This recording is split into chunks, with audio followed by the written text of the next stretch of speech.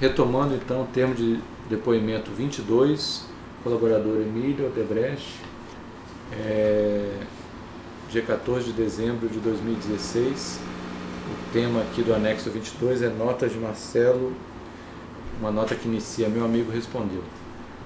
O senhor então é, explicou os dizeres dessa nota toda, estava explicando que se tratava de uma, uma, um pedido de, de colaboração, de doação de dinheiro à, à revista Carta Capital e estava sendo organizada pelo esse André E, é, seria o, é o André Esteves, né, do Banco BTG Pactual.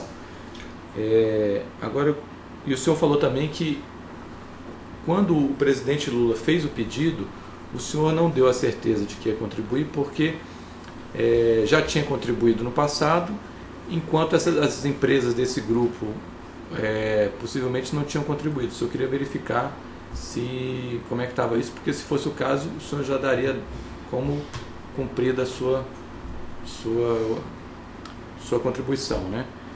É, a gente tem aqui nos documentos é, de colaboração apresentados pelo senhor, pelos seus advogados, é, uns e-mails, mas que as datas aqui dos e-mails são.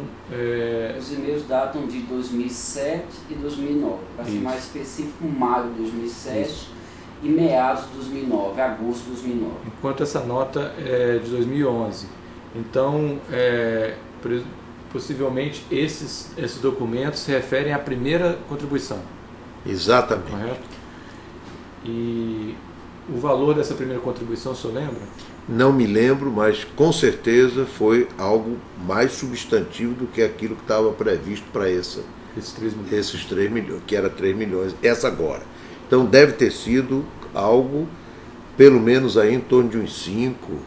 E quem cuidou é, o senhor sabe de detalhes como é que foi o pagamento? Do passado? É, não, do passado eu não conheço. Quem que o, senhor sabe quem na Odebrecht que tratou desse tema? Era Marcelo e Paulo Cezeno, Marcelo que consta dos relatos dele até onde eu é, tenho informação. O Paulo Cezeno realmente é um dos interlocutores aqui do e-mail e tem uma, uma o senhor sabe é, mais detalhes dessa nota, tem uma nota fiscal juntada e tem outros e-mails. O senhor sabe mais algum detalhe dessa da primeira? Da primeira não. Tá. Então, primeira. e essa nota aqui se refere só a essa segunda que o senhor não sabe se foi paga, né? Isso. Dos 3 milhões. O senhor sabe se foi paga ou não? Não. Não encontrei registro. Quer dizer, e conversei com, com o próprio Paulo. Paulo não se lembra, não se lembra, até porque ele já não estava mais. Uhum. No, nessa época ele já tinha sido transferido para a ODT, OTP. OTP é, então, nós não, não encontramos. Houve o pedido, houve a orientação que eu dei a Marcelo sobre e essa. O senhor não sabe quem foi o autor do, desse pedido aqui? Foi o Lula. E do primeiro, o senhor lembra quem foi? Como não foi a mim, tá. isso que eu tô, o não, que tá eu bom. soube é que tinha sido feito um, um, um empréstimo. O que eu quero, no fundo, que eu queria, para não perturbar, uhum. é de que lá na década de 90 também houve Quer dizer, na realidade, para a Carta Capital houve três. Mas esse primeiro é muito lá atrás. Muito lá atrás. Esse foi liderado todo por mim. Entendi.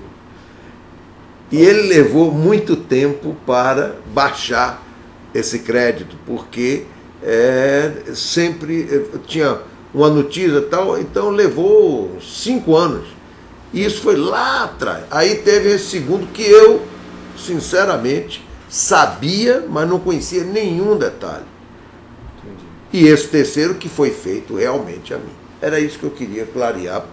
E só para a gente poder atrelar os documentos de corroboração, além dos dois e-mails que eu mencionei há pouco, com datas de 2007 e 2009, aqui tem também um aditivo contratual em, envolvendo a construtora e a editora Confiança. É, um, o contrato data de 2011 e o aditivo específico no valor de 2 milhões data de 20 de dezembro de 2011. É tudo relativo ao anterior. Relativo é, ao segundo, como ele chama. Tudo relativo ao segundo. O pagamento foi parcelado, então? É. A, a, a, é isso mesmo. Mesmo com o aditivo assinado em dezembro de 2011. É.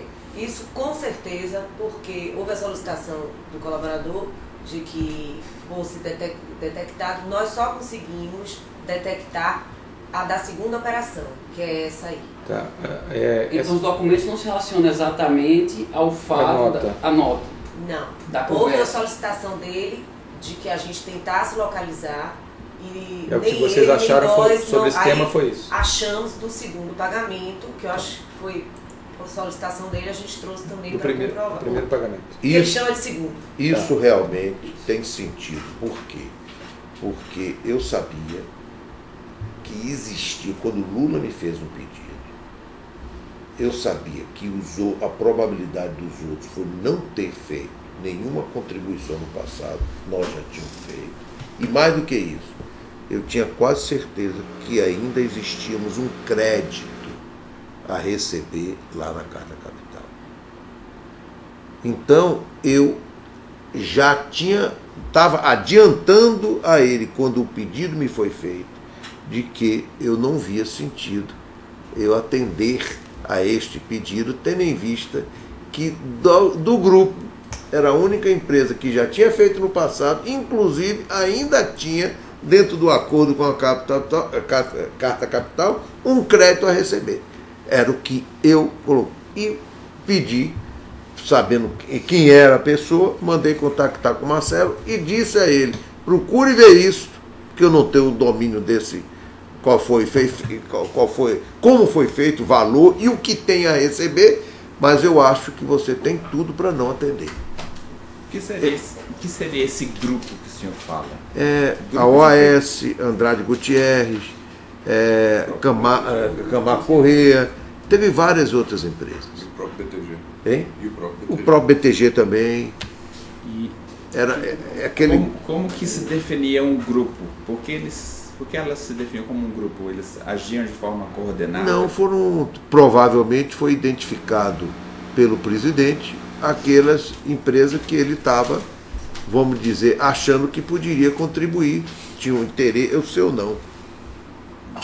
Deduzo eu, entendeu? Aí quando necessário, quando necessário, o presidente acionava essas empresas do grupo para auxiliar meios de imprensa? Nesse ele caso, nunca tinha nesse feito caso, é, nesse foi caso, caso específico, o caso isolado. É, exatamente. Entendeu? Ele, pelo menos comigo, é, não me lembro, não me recordo de nenhum outro pedido de ajuda à imprensa durante o período com Lula, né? Com Lula, Lula. não me lembro. Mas houve outros tipo, outro tipo de ajuda ah, semelhantes? O senhor pode citar algum exemplo? Ah, foi ao Estadão várias vezes. Na época, começou na época do Mesquita, ainda do Júlio Mesquita. Mas era isso tudo nesse, nesse mesmo molde da carta Mesmo nesse molde, tá? mesmo nesse molde. Eram dificuldades momentâneas do, do, dos veículos. Jornal do Brasil, quantas vezes teve. O filho deles, inclusive, hoje, do Brito, hum. trabalha conosco, um menino extraordinário na área de comunicação, né? Eu acho que a é. diferença, acho que a pergunta é nesse é. caso, os, os, meios de comunicação iam direto à empresa sem a intermediação. Exatamente. Essa, essa, essa, essa é a minha pergunta. Pronto, Pronto chefe. Essa que eu acho que é o. A diferença está aí. Gazeta Mercantil, eu levi direto, Emílio, estou precisando de. Uma... Era privado com privado. Entendi. É. Aí teve uma origem, é diferente. Apesar de ter ser por um dever de, de, de ser transparente e correto, não foi um pedido no sentido, olha, eu quero que você atenda. Não. Veja e, entendeu a minha reação já como um preparo para não atendimento. Esse, tá. Esses pedidos, esse veja, né, essa forma de dizer. No momento não, que o Lula. Veja é veja mesmo, não é a revista. É, não, não é revista. então é. é. Não era assim, não só muito bem como um pedido assim, que poderia ser recusado do Lula? Não, nesse é. caso particular não. Vou dizer sinceramente, foi por isso que, por exemplo, é, negócio de Cuba, tá? o negócio do Taigara, são coisas que eu, de uma forma ou de outra, me senti é, no dever de atender. Esse não, tanto assim que eu reagi. E a forma com que foi colocado, eu acho, se eu pudesse dizer, a gente usa muito, ele fez esse pedido para cumprir tabela. Alguém deve ter pedido a ele, entendeu? Então ele fez para cumprir tabela. Me ficou muito claro. É...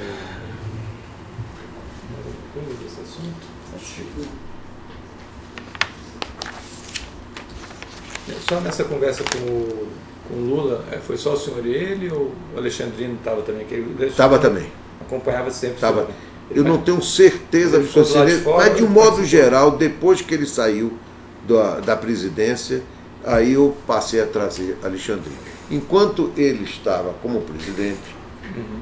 eu não, Alexandrino, fazia todo aquela, aquele apoio logístico, aquelas coisas todas, mas ele não participava das audiências. Tá. Depois da, dele sair do governo, aí Alexandrino, e ele gostava do Alexandrino. Então Alexandrino fazou, passou, eu convidava e ele ia comigo, até que facilitava a minha vida no sentido de qualquer providência que precisasse tomar, eu já não precisava procurá-lo para repetir tudo, etc. Ele já saía okay. com a delegação. É, mais alguma questão sobre esse tema? Podemos passar para o próximo? Então vamos encerrar aqui o, o termo de depoimento número 20, 22. 22, 14 de dezembro de 2016, é, colaborador Emílio Debrecht. Finalizando.